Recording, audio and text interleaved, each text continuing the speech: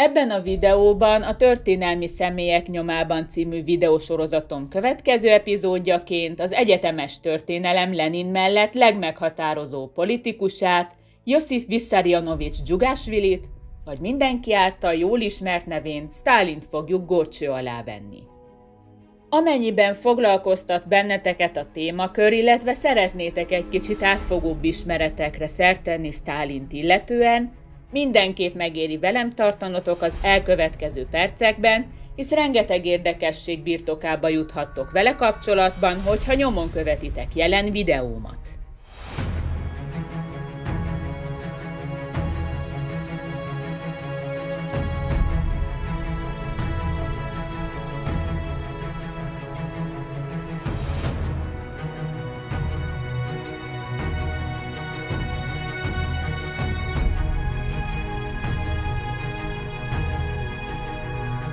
Az egyetemes történelem Lenin mellett legmeghatározó politikus a Stálin, vagy eredeti nevén Josif Vissarionovics Dzsugásvili 1878. december 18-án látta meg a napvilágot az akkori cári Oroszországhoz tartozó grúziai Gori városában, egy szegény jobbágy paraszt családban.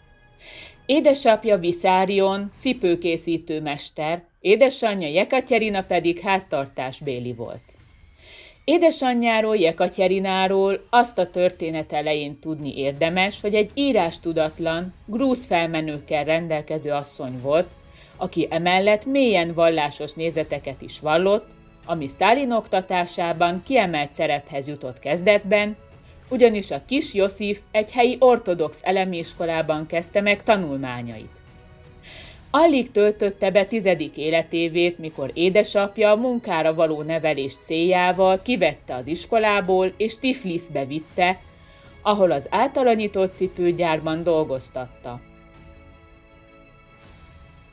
Stálin több testi fogyatékossággal is rendelkezett, ugyanis ballábának két lábúja születésétől fogva össze volt nőve, ami miatt egész életében sántított, valamint 12 éves korában egy lovaskocsi balesetben balkarja súlyos sérüléseket szenvedett el, ami miatt ez a tagja rövidebb is volt a másiknál.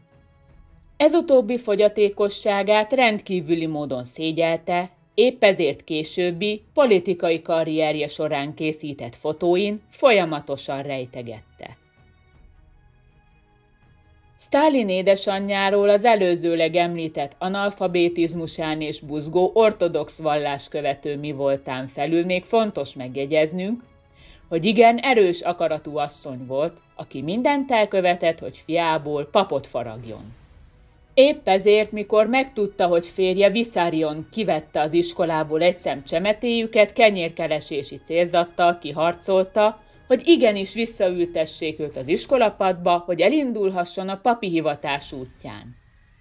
A kis Josif éleseszű és kitűnő eredményekkel büszkélkedő legény volt, aki imádott tanulni és olvasni. Tanárai még tizedik osztályos korában beajánlották papneveldébe éles esze és tökéletes emlékező tehetsége lévén, melyet végül a Tifliszi pravoszláv ortodox papneveldében meg is kezdett.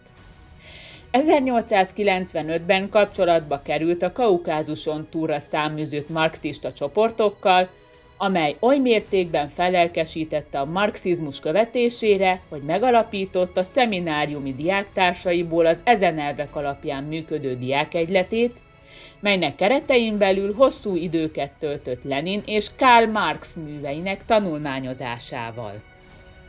Mindemellett tagja lett a Tifliszi Központi Vasúti Műhely dolgozóinak marxista körének, valamint tanainak terjesztése érdekében illegális nyomdát is megpróbált létesíteni követőivel, azonban ez az akció kudarcba fulladt, hiszen szembe találták magukat a szociáldemokratákkal. 1899-ben végül papi tanulmányainak is e tanterjesztés vetett véget, ugyanis ezen nézetei miatt kicsapták az intézményből.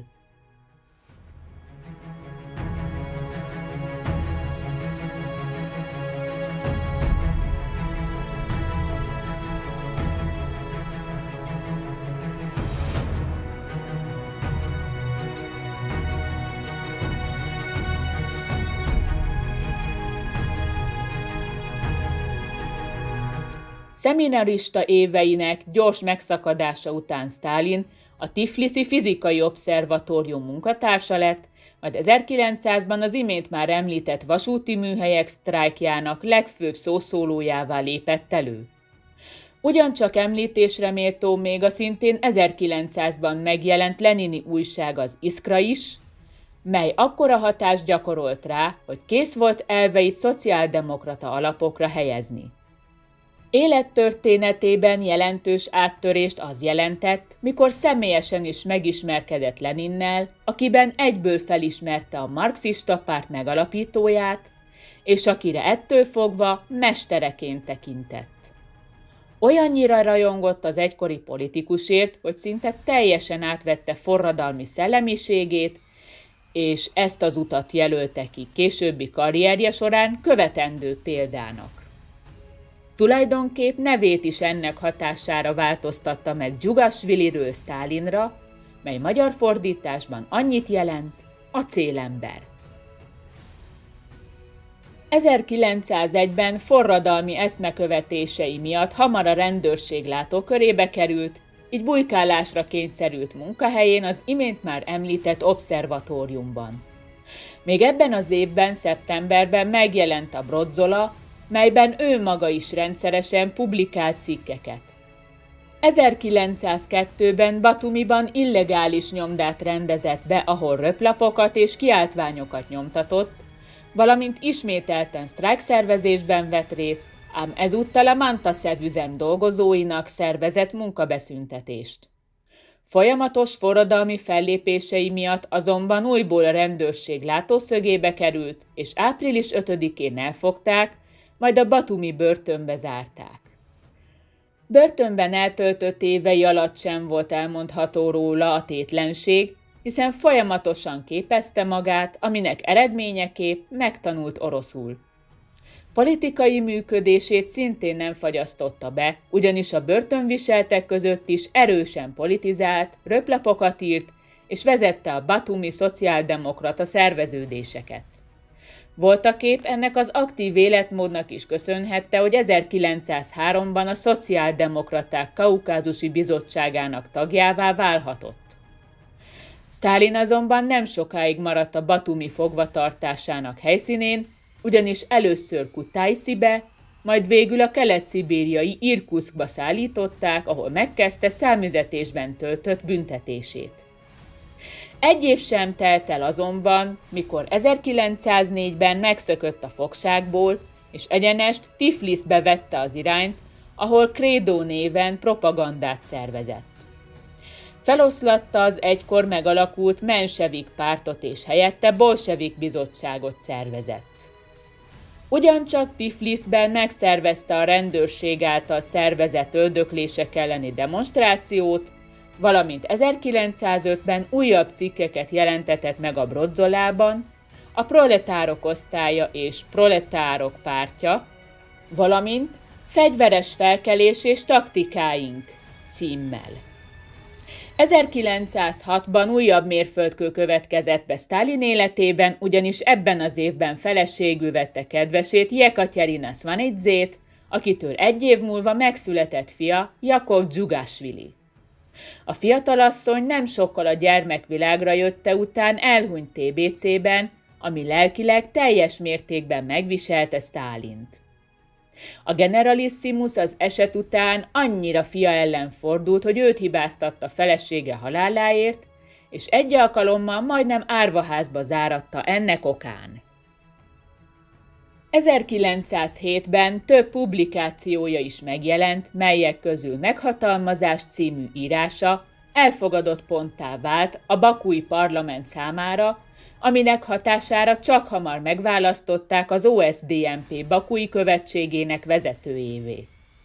1908. március 25-én azonban a sorozatos illegális felépései miatt másodjára is a hatóságok célkeresztjébe került, és a bakui börtönbe zárták.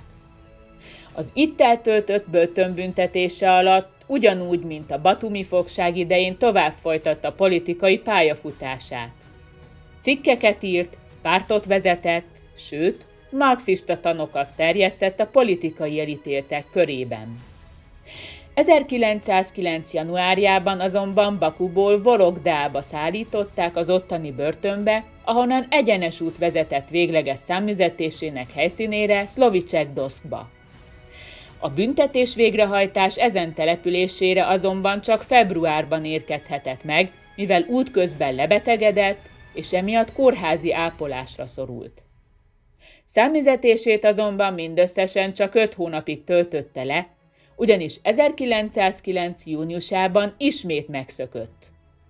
Gyakorlatilag az erre következő évektől kezdve indult be tényleges politikai karrierje, hiszen először az OSDNP központi bizottságának képviselőjévé, 1912-ben pedig a bolsevik párt központi bizottságának tagjává választották. 1913-ban már harmadik alkalommal is a hatóságok látókörébe került, ezért ismételten letartóztatták, végül bebörtönözték. Még ebben az évben négy évi száműzetésre ítélték, melynek első felét Kosztyinóban, a másodikat pedig egy északi sarkörtől távolabb eső faluban, Kurejkában töltötte, szigorú rendőri felügyelet mellett. Büntetés végrehajtásában fordulatot az 1916-os év hozott, amikor is a Dumá döntött a száműzött rabok besorozásáról, így Kurejkából Kraszonojárszkba szállították. Fogságából 1917-ben szabadult, amelyet követő első évben Lenin pártjának legfontosabb emberévé nőtte ki magát, ugyanis megválasztották pártitkárrá.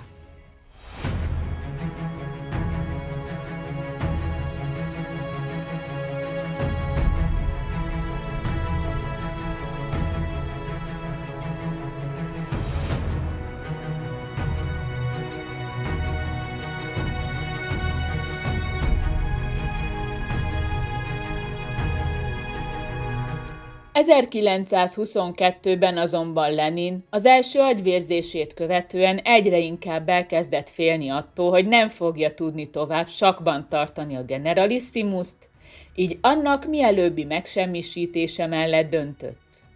Voltak épp a kettejük között kialakult ellenséges viszony is ennek volt betudható a későbbiekben.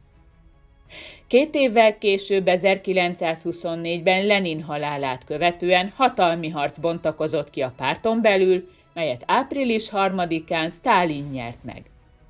Az acélember mindig hidegfejű és pragmatikus politikus volt, melyhez minden egyes esetben hozzátársította magatartását is. Külpolitikai munkásságát tekintve mindenáron nemzetközi szintű elismerést kívánt elérni a Szovjetunió számára, Noha igaz, valójában már ekkor több nagy hatalommal is kifejezetten rossz viszonyt ápolt. 1928-ban figyelme a mezőgazdaság megreformálása felé fordult, melynek végeredménye az lett, hogy létrehozta az első öt éves tervet. E tervezetről röviden annyit érdemes tudni, hogy államosította a termelést és felszámolta a kulákságot. Ehhez a tervezethez kapcsolódik az egy korábbi videóm kapcsán már feldolgozott, 1930 és 32 között Ukrajnában kitört holodomor is, mely más nevén a nagy ukrán éhínségként héresült el, s melynek keretein belül közel 7,5 millió ukrán halt éhen a kíméletlen bánásmód miatt, melyből a csak kiskorú áldozatok száma 3 millióra volt tehető. Ugyancsak megemlítendő a Jezsovcsina néven emlegetett nagy tisztogatás is, melyet 1934 és 39 között vitt véghez Stálin. Ez a vérengzés azért is volt fontos mérföldkő a politikus életében, mert az ő javaslatára eltörölték a legtöbb bűncselekmény esetében a 12 és 16 év közötti gyermekek halálbüntetését tiltó végzést, aminek köszönhetően lehetőséget teremtett a hatóságok számára súlyos bűnöket elkövetett kiskorúak tömeges kivégzése. A második világháború idején Stálin továbbra is aktívan kivette részét az irányításból, és 1939 őszén megtámadta Lengyel, illetve Finnországot. Az erre következő évben offenzívát indított a finn védelem megtörésére, azonban kísérlete kudarcba fulladt. A sikertelen offenzívát követően 1940 tavaszán újabb vérengzés következett be, melynek keretein belül a szovjet hadifogoly táborokban raboskodó lengyel hadifoglyokat hidegvérrel kivégezték. A Katinyi vérengzés néven elhíresült népírtásban mintegy 30 ezer fő veszítette életét. 1941-ben a németek megtámadták Szovjetuniót, mely támadás váratlanul érte a politikust és a részben a tisztogatások közepette megtépázott, tapasztalatlan hadseregét, aminek hatására összeomlott. Végül egy kisebb szünet után újra szervezte az orosz sereget, valamint mindent elkövetett annak érdekében, hogy győzelemre vigye Szovjetuniót, aminek eredményeképp a győztes szovjet hatalom világhírnévre tett szert. A háborút követő években Stálin az elért sikerek után visszatért a tervgazdálkodás és terror útjára, melyet mi sem bizonyított jobban, mint az, hogy pártját is átszervezte, és így annak mintegy 60%-át aparatcsikokból állította össze. További, az újabb terrorpolitikájához köthető eseményként még megemlíthetjük a krími tatárok és hadifoglyok Szibériába történő deportálását. Erről részletesebb képet a Gulák története című videóm kapcsán kaphattok, valamint nem sokkal halála előtt 1953. márciusának elején rendelkezett a zsidók e fajta számüzetéséről is, azonban március másodikán agyvérzést kapott, aminek következtében többé már nem tért magához.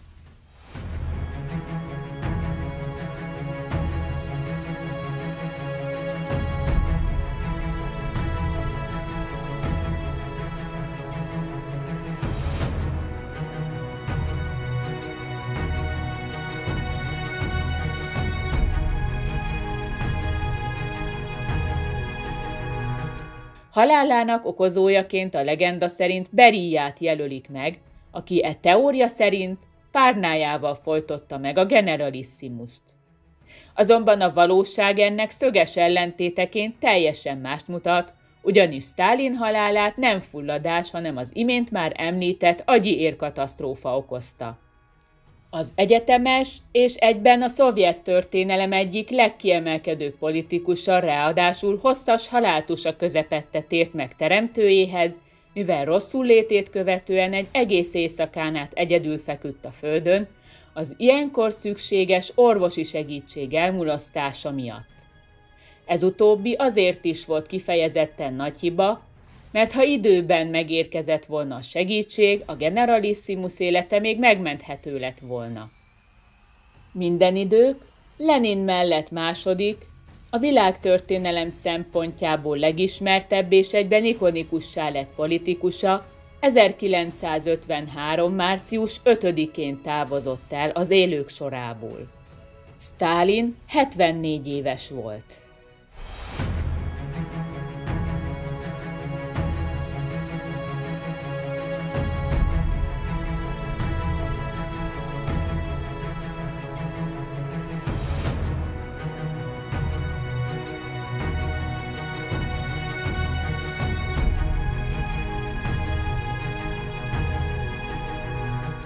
Amint már említettem, Stalin elődjéhez hasonlóan stroke következtében hunyt el, melyet követően földi maradványait csak úgy, mint Leninét 1924-ben bebalzsamozták. A testet eredetileg a Lenini mauzóleumban helyezték öröknyugalomra, azonban, mint kiderült, nem véglegesen. Az egykori diktátort ugyanis egy nagyobb sírboltba kívánták temetni, azonban az őt a politikai életben követő Hruscsov ezt elvetette. Épp ezért a vörös sejembe burkolt koporsót a legnagyobb titoktartás közepette temették újra 1961. október 31-én méghozzá úgy, hogy a nevével fémjelzett táblát is eltávolították Lenin mauzóleumának ajtajáról. Azt érdemes a legelső temetés kapcsán megjegyeznünk, hogy Stalin bebazsamozott testét díszsortűz kíséretében temették Lenin mellé, mely alkalommal hatalmas tömeg gyűjt össze a Vöröstéren, hogy még egyszer utoljára láthassák a néhaj népvezért, kinek halálhírére háromnapos gyászt rendeltek el, halála után négy nappal. Az összes seregletnép annyira tolongott, hogy egymást taposták halálra, vagy épp rosszul lettek. Az így kialakult katasztrofális helyzetben végül 500 fő veszítette életét.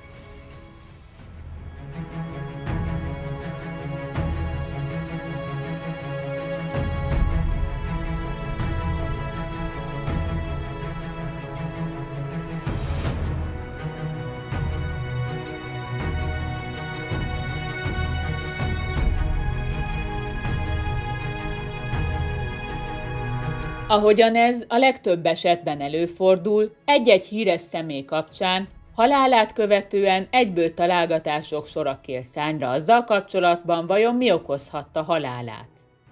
Ez Stálin esetében sem volt másként, ugyanis több összeesküvés elmélet is született ezt illetően, melyek azért valljuk be, hagynak némi kétséget maguk után.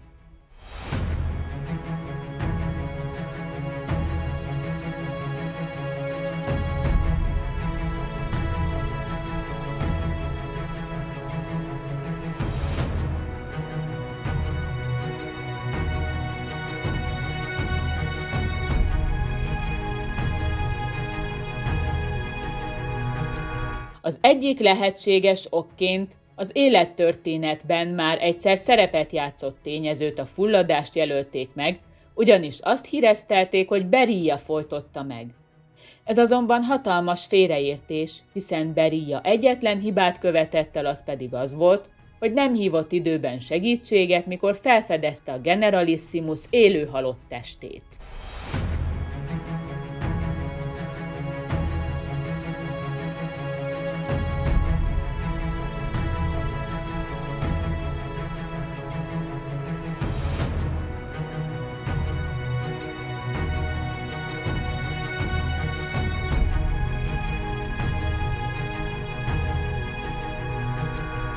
Egy másik feltételezés szerint még mindig Beriát veszik elő, ugyanis ezen álláspont szerint ő maga intézte el, hogy meggyilkolják Stálint, méghozzá patkányméreggel.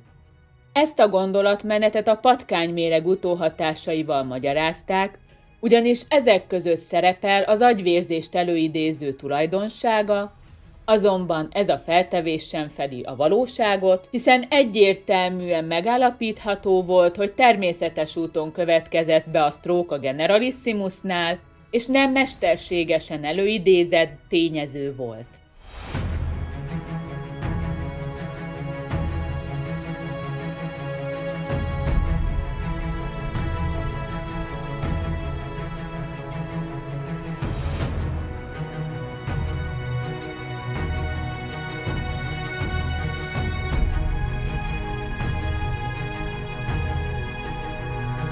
A harmadik és egyben utolsó teória szerint a Kremlben ölték meg a diktátort, halálának valódi helyszínén csak megjátszották a halálesetet egy hasonmás segítségével. Ezt azzal magyarázták, hogy Beria, Melankov és Hruscsov ezáltal kívánta egymás között felosztani a hatalmat. Ennek megfelelően Beria miniszterelnök helyettes, Melankov kormányfő, Hruscsov pedig pártitkár lett, amint Stalin halálát követően visszaállították ezt a kormánytisztviselői posztot. Remélem érdekesnek találtad ezt a videót. Amennyiben igen, ne felejts el lájkot nyomni, feliratkozni, illetve benyomni a videó alatt a kis harangombot, hogy mindig napra készen értesülhess a csatorna legfrissebb tartalmairól. Találkozzunk a következő videóban is, sziasztok!